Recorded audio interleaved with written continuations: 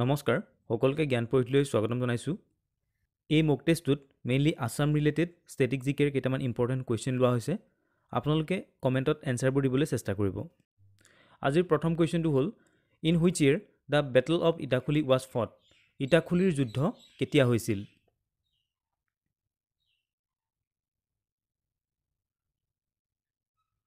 ইয়াৰ শুদ্ধ উত্তৰটো হ'ব option A sixteen eighty two ইয়াতে মন কৰিবলগীয়া কথাটো হ'ল এই যুদ্ধখন শৰাইঘাট যুদ্ধৰ প্ৰায় এঘাৰ বছৰৰ পিছত হৈছিল আৰু তেতিয়া আহোম ৰজা আছিল গদাধৰ সিংহ।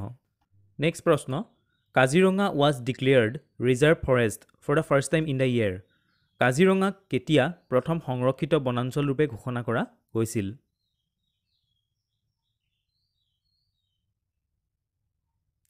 ইয়াৰ কাৰেক্ট অপশ্যনটো হ'ব option B nineteen zero' eight আৰু কাজিৰঙাক নাইনটিন ছেভেণ্টি ফ'ৰত নেশ্যনেল পাৰ্ক হিচাপে ঘোষণা কৰা হৈছিল।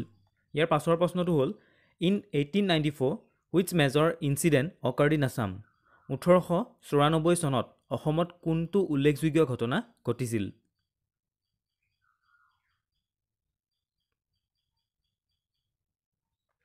ইয়াৰ শুদ্ধ উত্তৰটো হ'ব option D Patharughat peasants uprising যাক আমি পথৰুঘাটৰ ৰণ বুলি জানো।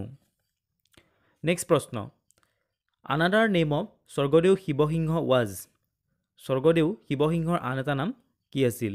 যিহেতু আহোম স্বৰ্গদেউসকলৰ এটা হিন্দু নাম আৰু এটা আহোম নাম আছিল।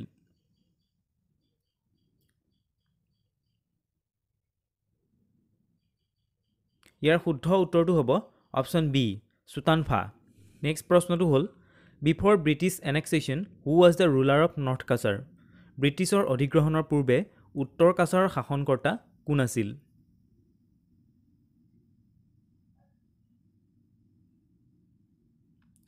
ইয়াৰ কাৰেক্ট অপশ্যনটো হ'ব অপশ্যন এ তুলাৰাম সেনাপতি। নেক্সট প্ৰশ্ন the name of special women commando force of Assamese মহিলাৰ দ্বাৰা গঠিত অসমৰ বিশেষ কমাণ্ডো গোটটোৰ নাম কি?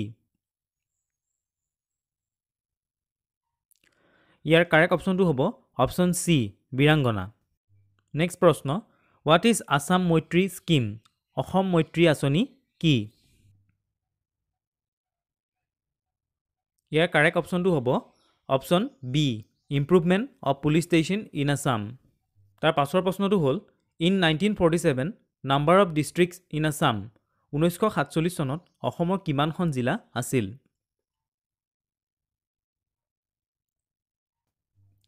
ইয়াৰ কাৰেক্ট অপশ্যনটো হ'ব অপশ্যন চি থাৰ্টিন নেক্সট প্ৰশ্ন Sikkim became a full state of India by which amendment কোনটো সংশোধনীৰ দ্বাৰা ছিকিমে ভাৰতৰ পূৰ্ণাংগ ৰাজ্যৰ মৰ্যাদা লাভ কৰিছিল?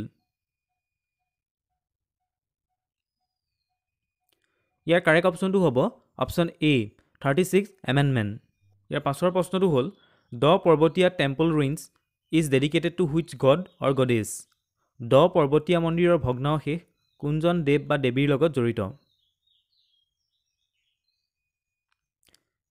ইয়াৰ কাৰেক্ট অপশ্যনটো হ'ব অপশ্যন বি শিৱা নেক্সট প্ৰশ্ন which was the capital of Salastambha dynasty Salastambha বংশৰ ৰাজধানী ক'ত আছিল?